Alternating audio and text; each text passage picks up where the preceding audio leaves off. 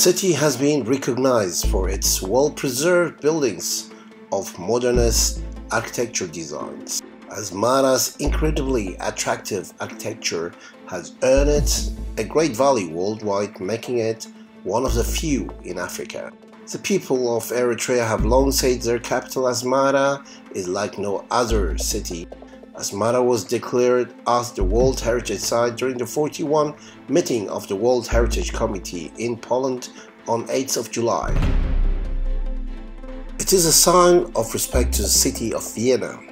Organizers to have managed it that Vienna is the first city to get the privilege of this important and amazing public event on Asmara City of Dreams.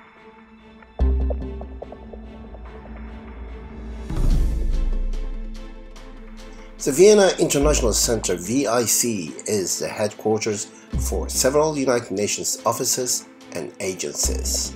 Various international conferences and events are held annually at the VIC. We went to meet Mr. Martin Nesirky, former London World Desk editor, bureau chief and correspondent who served with Reuters in Moscow, Berlin, and The Hague.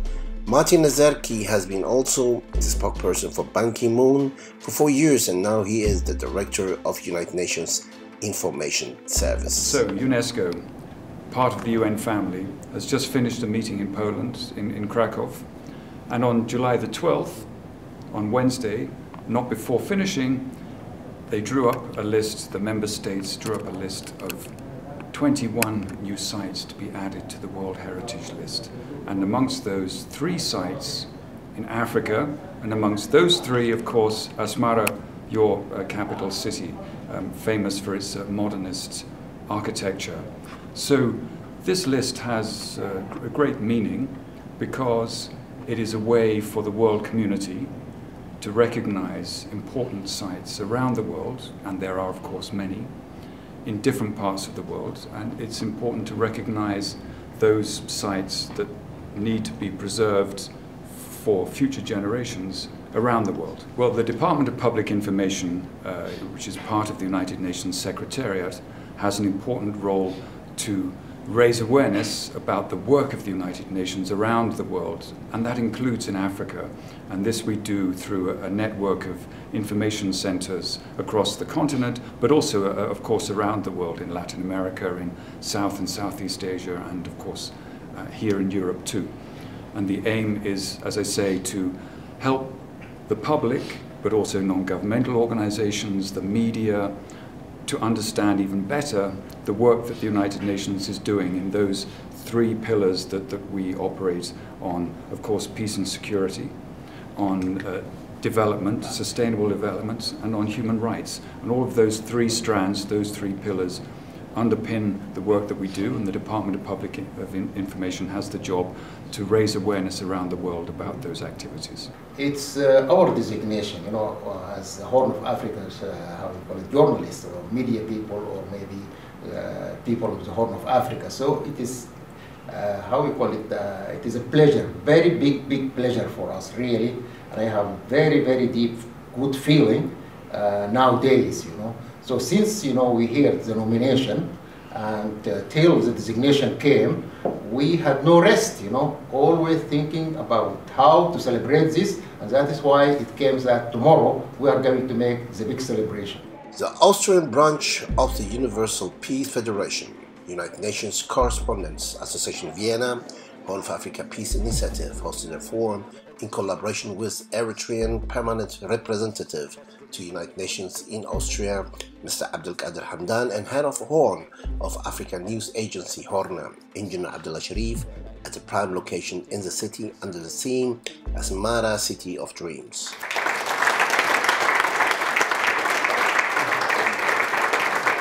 Ladies and gentlemen, it is my great honor and pleasure to welcome you in the name of the Universal Peace Federation to this also festive event because for Eritrea but also for Europe it's a day to celebrate because uh, we celebrate something which is a cooperation of Europe and uh, Eritrea.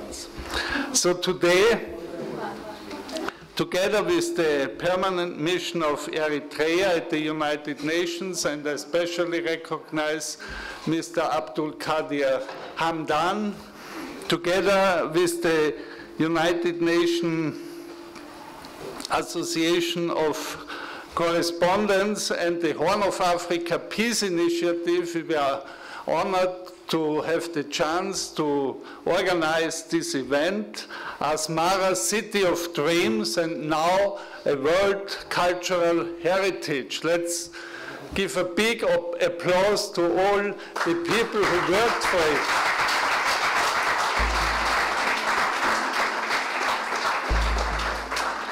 Opening the events, Dr. Peter Haider, President of Universal Peace Federation, welcomed the guests and gave briefing focusing on the program, noted the role and responsibility, importance of Asmara inscriptions onto the UNESCO's World Heritage List, and expressed good wish for the Eritrean delegation. In the opening remarks, Mr. Habtab Tsege, member of the steering committee and head of the mining engineering department at Eritrea Institute of Technology in Mai Nefhi, stated that the inscriptions of Asmara city onto the UNESCO World Heritage List is a symbol of pride and achievement for the Eritrean people and shoulders the responsibility to maintain its status. He said Asmara, the capital city of Eritrea, is a unique and distinct social environment of modernist architecture design realized in an African highland setting. The modernist buildings that make up the World Heritage Site of Asmara were built in late 19th and first half of 20th century.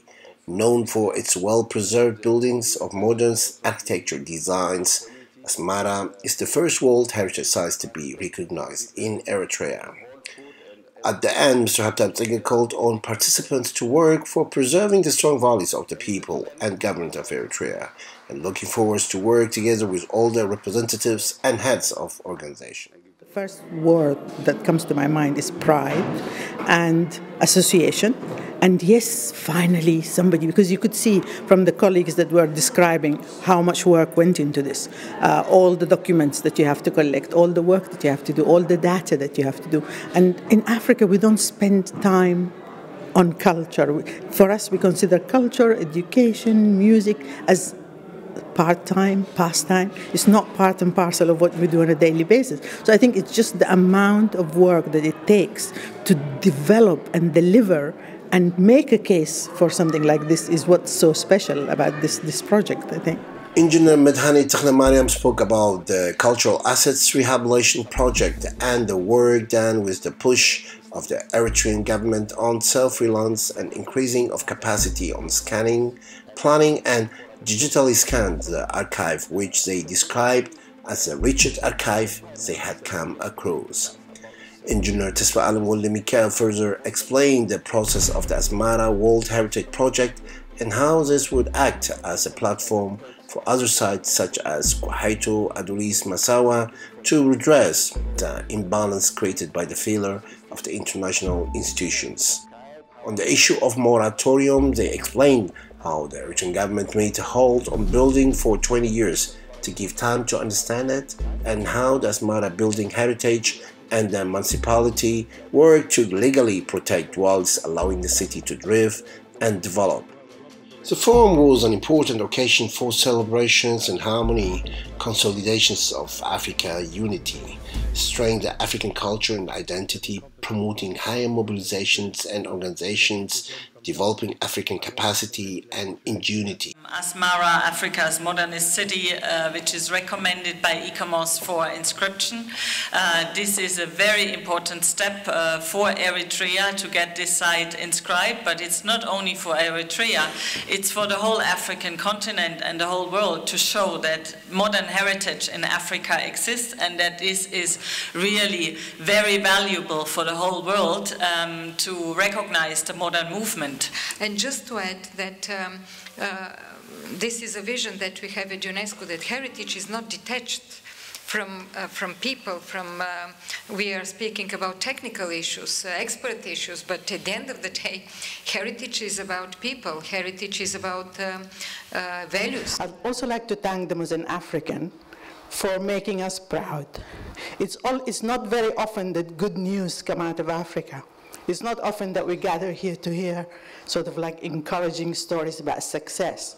And so thank you for this. Thank you very much for this. And I think I wouldn't be going too far if I say I would like to thank them about on behalf of the whole world in a time when culture and heritage and historical buildings are deliberately targeted in many parts of the world. So in a city which has seen world, world, war, war, which has seen conflict, it is encouraging to know that there is an end to that and that peace leads to this kind of project. So again, thank you.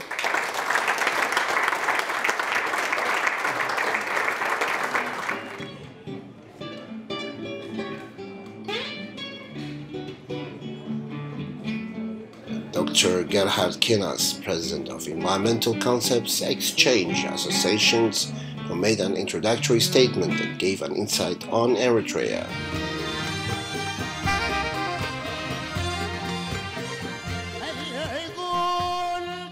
Another unforgettable moment of the event was the music performance from the Sudanese cultural group, reside in Austria sent the crowd wild which witnessed the high level of patriotism of every participant.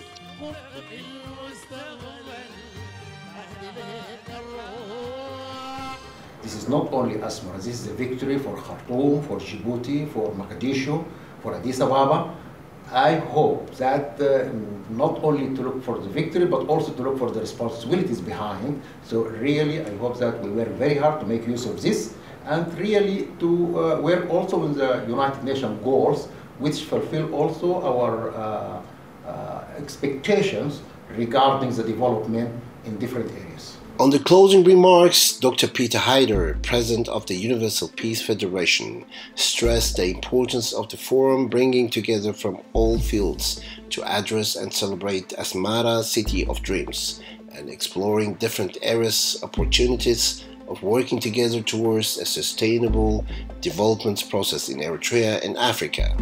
He also thanked all participants, especially speakers, and those who chaired the sessions on behalf of the organizing committee noting their contribution.